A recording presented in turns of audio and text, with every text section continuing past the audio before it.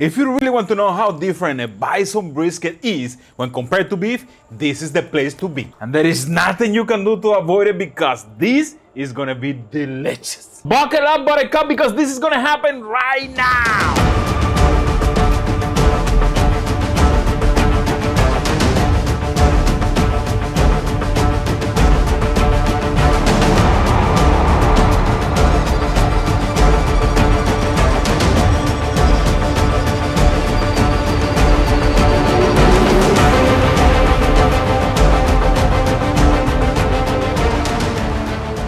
Here bison brisket is red, nice and very lean. I got these briskets from my friends at the Honest Bison. They have all the well-known cuts, steaks, and more in different fashions like elk, venison, beef, and today's topic, bison. And they also have great prices in their stock.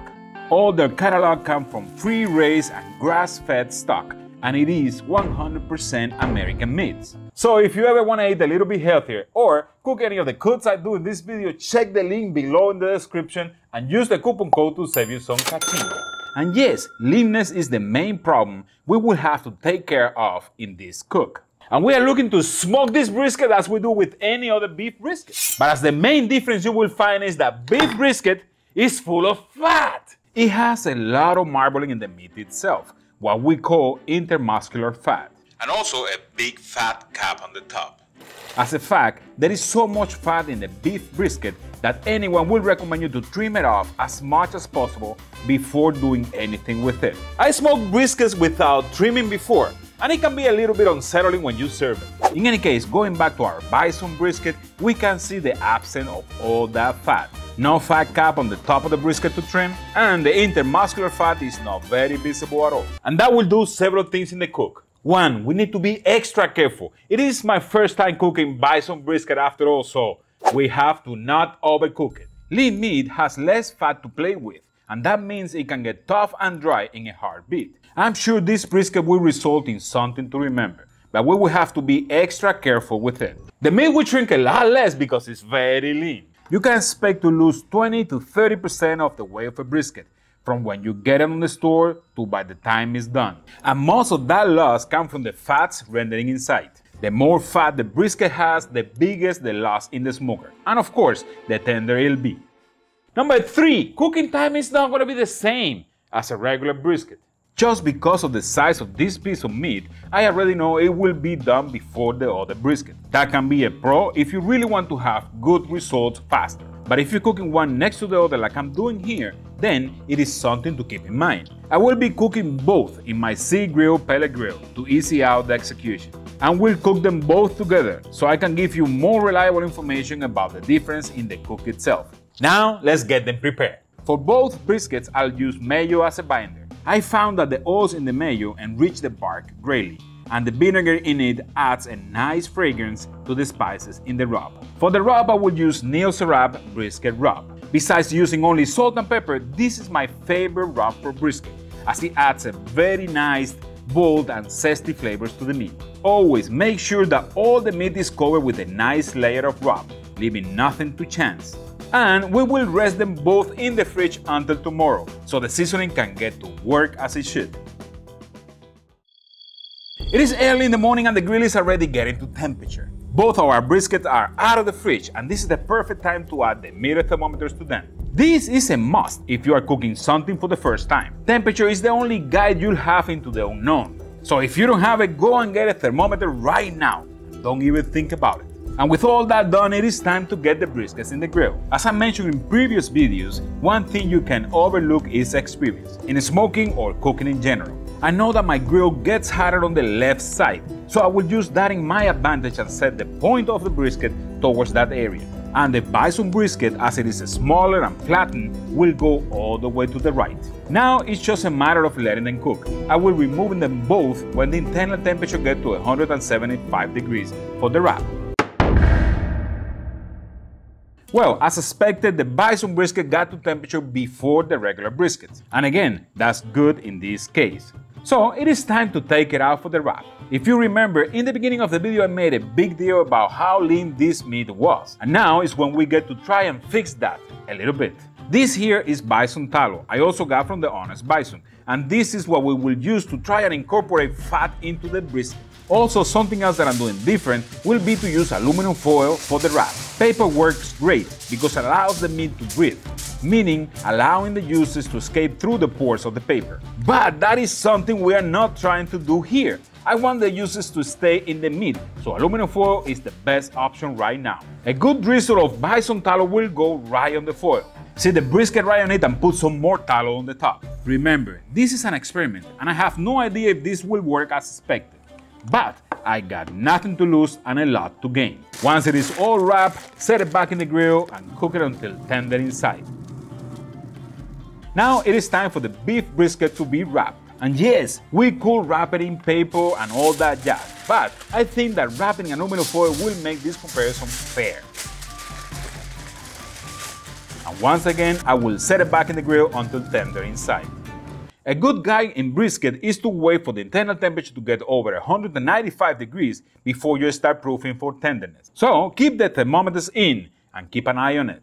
Unexpectedly, the beef brisket is done before the bison one. I'm poking it in different places and it's tender all the way. So let's take it out without removing the aluminum foil and let it rest in the cooler so it can release heat slowly. 15 minutes later, the bison brisket got proof tender and ready, so we will do the same and allow it to rest. These are the total times it took me to cook them both, and as you can see, the difference is minimal.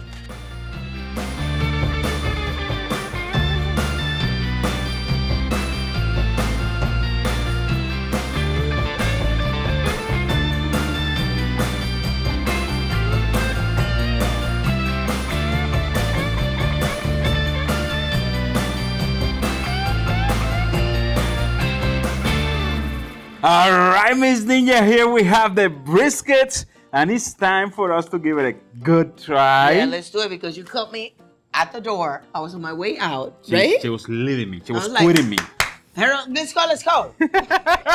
Yeah, you know, you have to beg somebody to try brisket. Yes. That's a new thing in this house, man. All right, Miss Ninja, we have two different briskets here, and I Uh-huh. want you to tell me which one you like the best. then let's go. It looks, they all look amazing. You Look see at the the, smoke ring is perfect. Perfect. Bark is perfect. Everything is beautiful. Yes, it is. Let's give this baby a try. Let me get one here in the middle. Mm-hmm. Oh, Miss Ninja. I'm excited, Miss Ninja, for this one. Are you?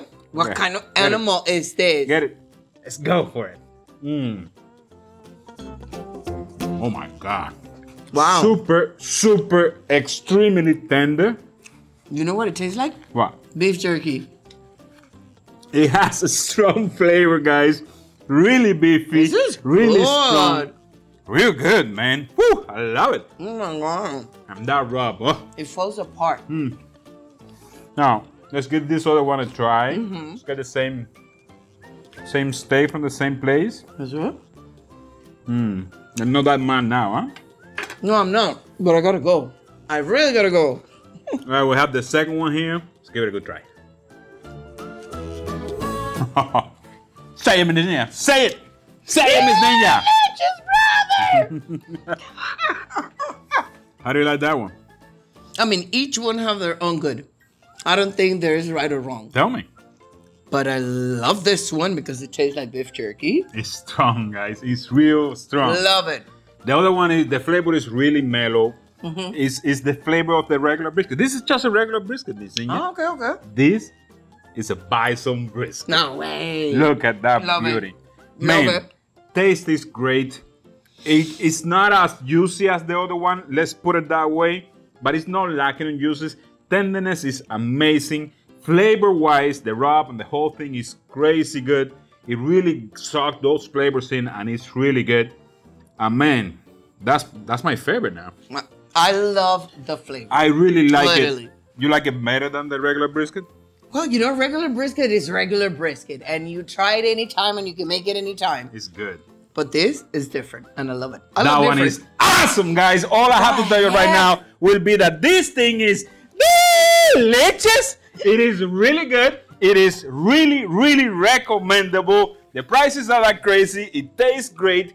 It, it is something completely unique and different that nobody had tried before Mm-hmm. that I know about. And if you ever tried before, you please let me know in the comments. And if you haven't, You let me know in the comments too. And remember that I'm leaving a link Good. to the uh, Honest Bison website down there in the description. You can check it out. You can buy some stuff and you can save some money if you use the coupon that I'm leaving down there. So, guys, you should really go and give this a try. It is really good. It is really unique and it's delicious. If there's something wrong with this, guys, What is wrong with that guy? I don't know. What? Where are your comments, guide? Yeah.